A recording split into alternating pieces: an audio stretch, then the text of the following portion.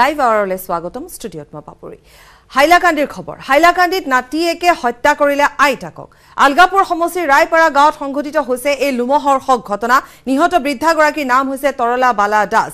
কিছুদিন পূৰ্বে সত্তৰ বছৰীয়া বৃদ্ধা তৰলা বালা দাস নিজ বিবাহিত কন্যা অনিমা ৰায়ৰ ঘৰলৈ ফুৰিবলৈ আহিছিল। কন্যাৰ ঘৰলৈ অহাৰ পিছৰে পৰাই নাতিয়েক মনোজ ৰায়ৰ লগত সৰু সুৰা বিষয়ত মত বিৰোধ হৈছিল। বৃদ্ধাগৰাকীৰ মঙলবাৰে সন্ধিয়াতে শুবলৈ যাওঁতে মনোজক বাধা দিছিল আইতাকে।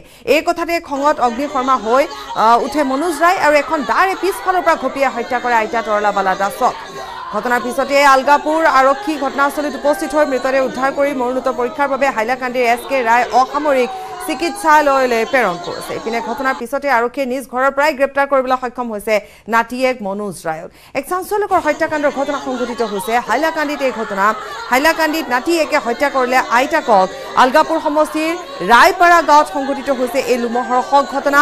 ইহঁতৰ বৃদ্ধাগৰাকীৰ নাম হৈছে তৰলা বালা দাস। কিছুদিন পূৰ্বে সত্তৰ বছৰীয়া বৃদ্ধা তৰলা বালা দাস নিজ বিবাহিত কন্যা অনিমা ৰায়ৰ ঘৰলৈ ফুৰিবলৈ আহিছিল। কন্যা ঘৰলৈ অহাৰ পিছৰে পৰাই নাতিয়েক মনোজ ৰায়ৰ সৈতে সৰু সুৰা কথাত মতবিৰোধ হৈছিল।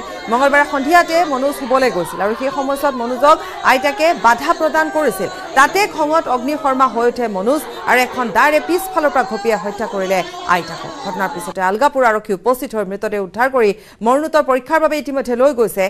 এছ কে ৰায় অসামৰিক চিকিৎসালয়লৈ আৰু ইপিনে ঘৰৰ পৰাই ইতিমধ্যে গ্ৰেপ্তাৰ কৰিছে নাতিয়েক মনোজ ৰায়।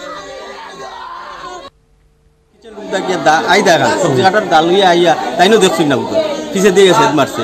ও তান আরেক নাতির বউয়ে শব্দ শুনিয়া দা পড়ছে যে শব্দ শুনিয়া আইয়া দেখছ তো রক্ত বাইর ফাটি দিছে। এরপরে ডাকাডাকি করি তো মানুষ। মেয়ের বাড়ি মেয়ের বাড়ি। অরিজিনাল বাড়ি কোন জায়গা? তান অরিজিনাল বাড়ি আছিল বাবুয়ার তো আচ্ছা। তান জামাইও নাই মারা গেছে আচ্ছা। জায়গা জমি বেশি আইতা তান সাত মেয়ে। তাইনও মেয়ের বাড়ি তাকো আচ্ছা আচ্ছা। আর এক ছেলে ছেলে শিলচর কই গ্রোসারির দোকানের ভিতরে